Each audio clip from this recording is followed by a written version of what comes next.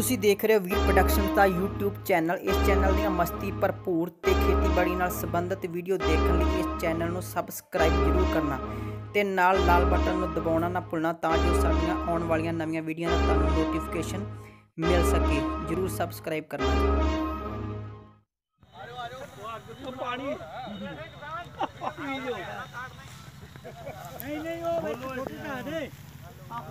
ਵੀਰੋ ਆ ਵੇਖੋ ਭਾਰਤੀ ਕਿਸਾਨ ਯੂਨੀਅਨ ਦੇ ਨੁਮਾਇੰਦੇ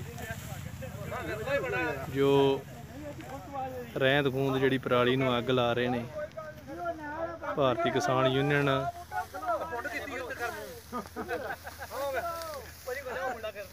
ਮਾੜਾ ਨਾ ਬੋਲੋ ਵਿੱਚ ਇਹਦੇ ਆ ਜਾਣਾ ਜਦੋਂ। ਨਾ ਨਾ ਮਾੜਾ ਨਾ ਬੋਲੋ।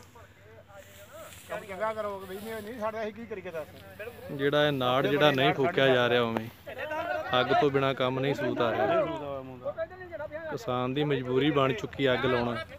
ਕਿਉਂਕਿ ਸਰਕਾਰ ਕੁਝ ਦੇ ਨਹੀਂ ਗਈ ਰਹੀ ਕਿਸਾਨਾਂ ਨੂੰ। ਨਾਲ ਝੋਨਾ ਰੇਡ ਕਰਤਾ ਤੁਸੀਂ।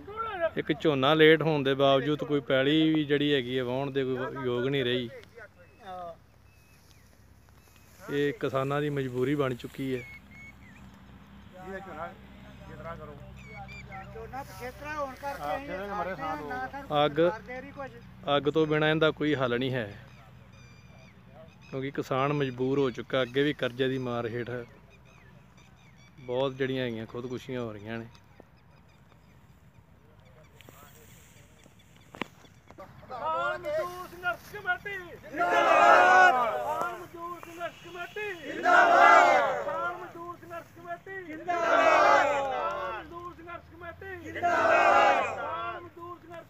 ਮਜ਼ਦੂਰ ਸਾਨੂੰ 6000 ਰੁਪਇਆ ਕਿੱਲੇ ਦਾ ਕਿਹੜਾ ਉਹ ਦਿਓ। ਕੰਦ ਕੋਈ ਨਹੀਂ ਬਣਦਾ ਇਹਨੂੰ ਆਪ ਕੋਲ ਕੋਈ ਮਸਲਾ ਨਹੀਂ ਸਾਡੇ ਕੋਲ ਹੈਗਾ।